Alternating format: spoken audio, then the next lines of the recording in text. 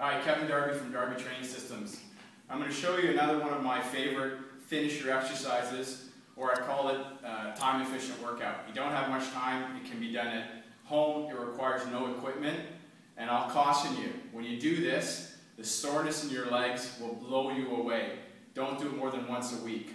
The idea is you do 30 seconds of work at maximum intensity, followed by a 15 second break. So you're going to work really hard for 30 seconds, followed by a 15 second break. When you finish the circuit of all four exercises, you can give yourself 60 to 120 seconds rest. The gold standard for this is to be able to get through five to six sets.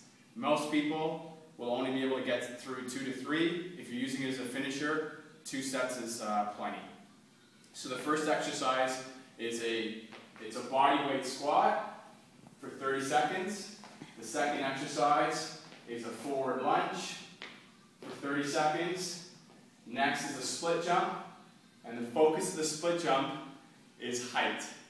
So you, I prefer you to go a bit slower, but get good height. I want to see good explosion, good explosion on the split jumps.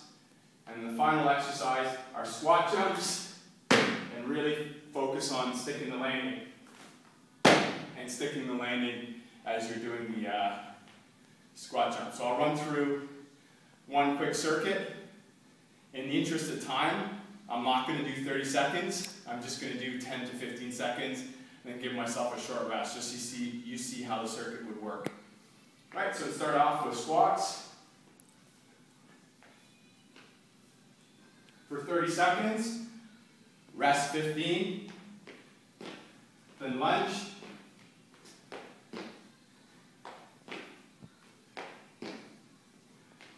Again for 30 seconds, you rest for 15, and then split jumps.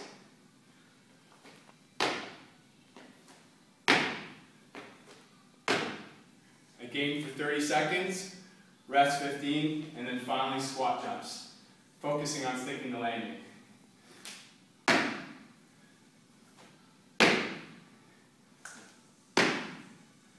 Try them out. They're a lot of fun. Thanks very much.